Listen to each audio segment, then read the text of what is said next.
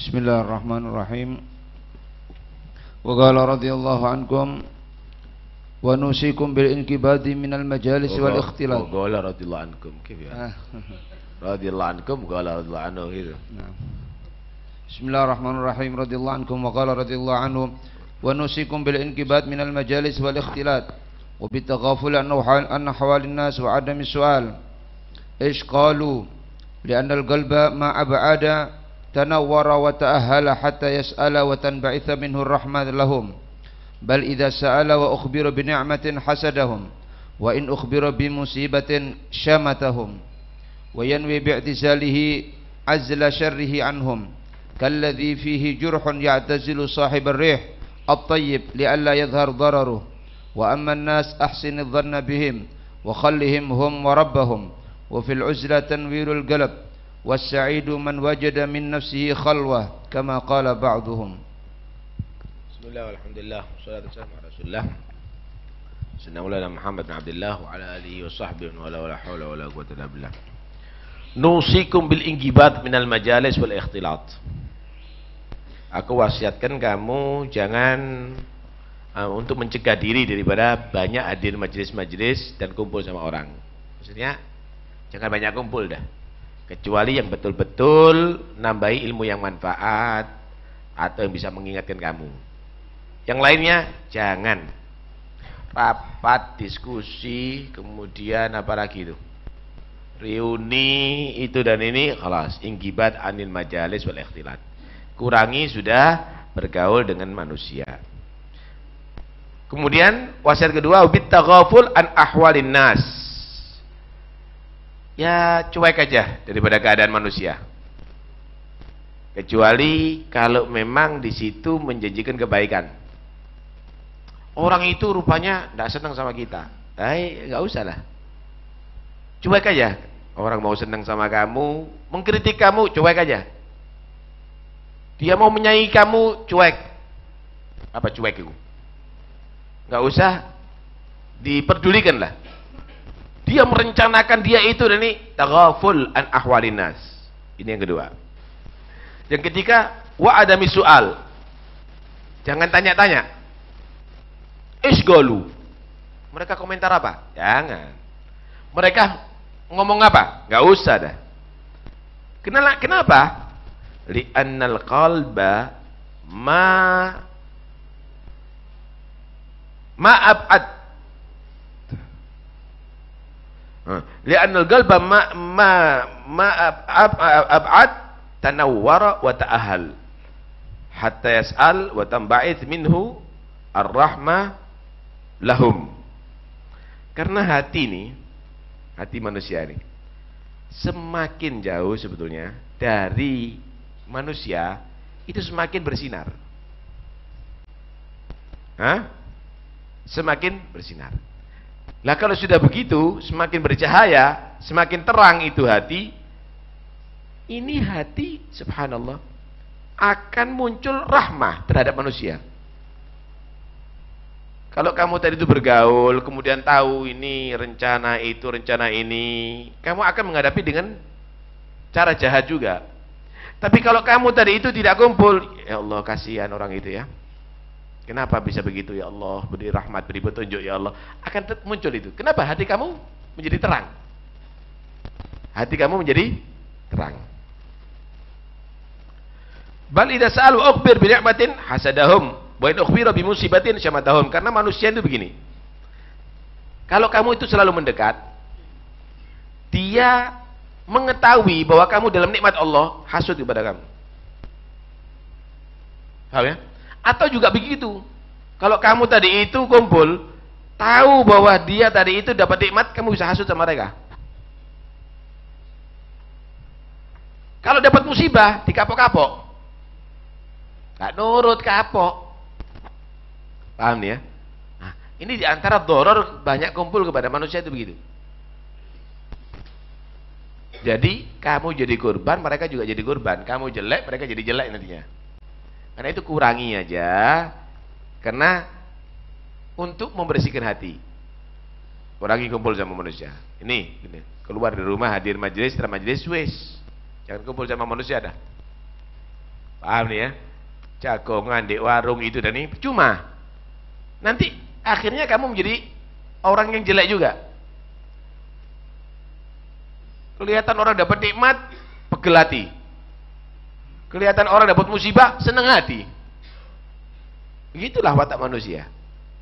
Tak kasih gambaran. Kalau ada di satu daerah angin yang kenceng, banyak debu.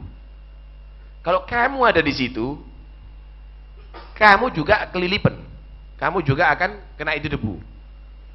Kamu juga akan nabrak-nabrak. Kamu mungkin akan mendorong saudara kamu untuk kamu keluar daripada arena tadi itu.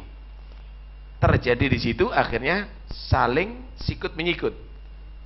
Coba kalau menjauh, menjauh, jauh, kelihatan mereka tadi itu huh, dalam debu, terhembus kepada dia debu. Kamu kasihan ya Allah, kasihan mereka, kasihan mereka. Kamu berusaha untuk menyelamatkan mereka ya Allah. Mudah-mudahan Allah kasih rahmat mereka ya Allah, mudah-mudahan Allah selamatkan mereka. Lah, kamu memandang dengan hati yang bersih, hati yang bercahaya. Justru kamu ada di situ, kamu menjadi orang yang saling sikut nantinya. Paham nih ya? Nah, karena itu menjauh kepada manusia ini untuk membersihkan hati. Bukan berarti merasa dirinya adalah he, hebat. Dan lebih peduli nanti kepada manusia tadi itu. Hah? Baik.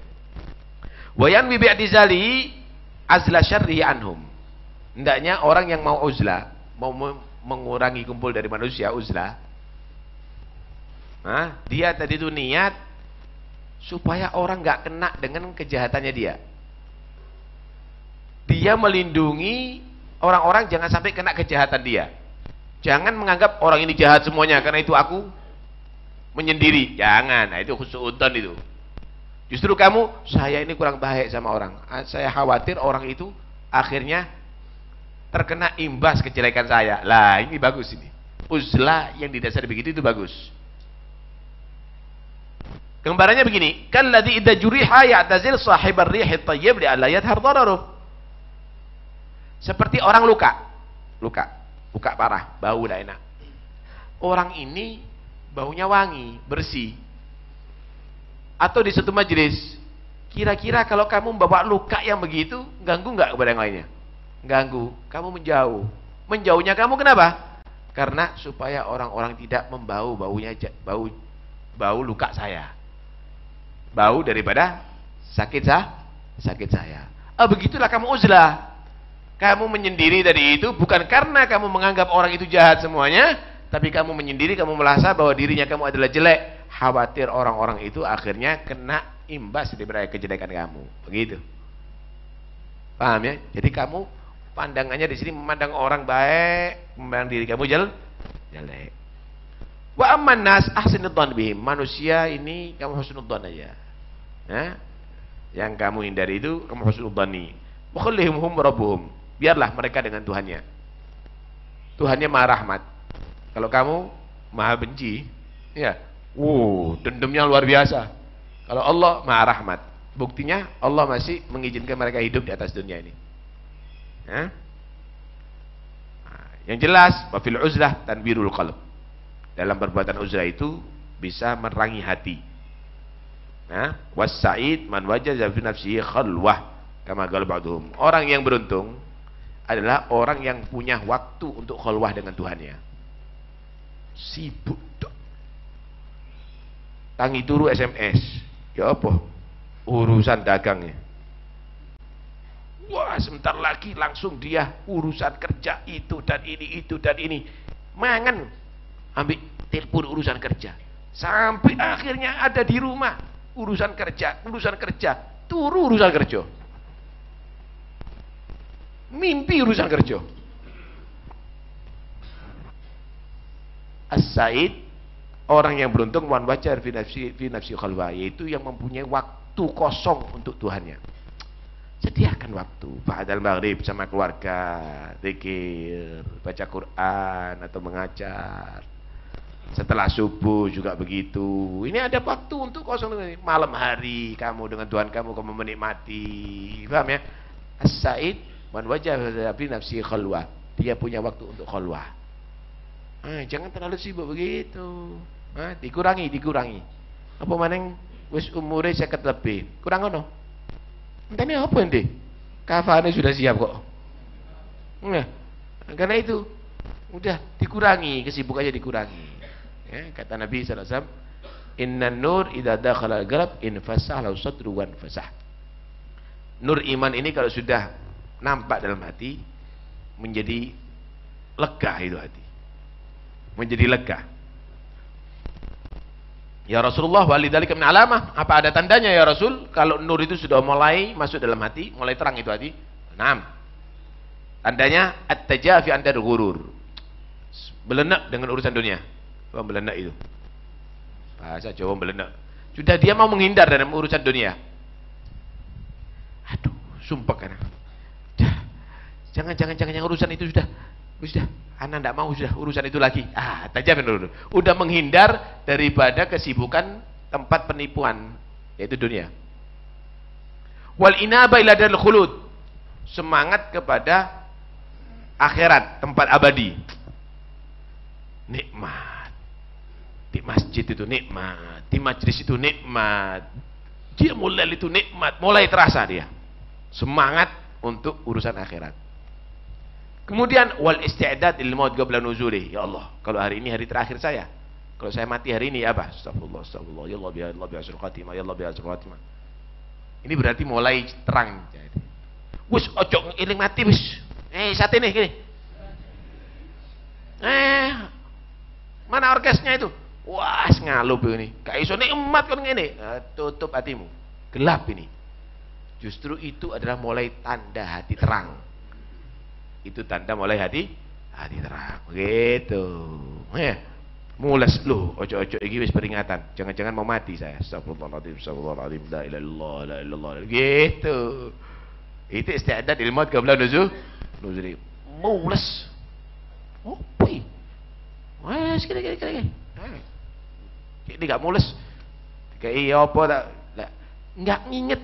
Itu kadang-kadang perintahan dari Allah. Ini nggak ada cahaya dalam hatinya. Karena itu penting ya untuk supaya kita e, mengoreksi diri kita mempersiapkan itu semuanya. Wallahu a'lam. Ada perlu dibahas? Allah hasbi, Allah kafi, Allah syahidi, Allah ma'i. Oh ya.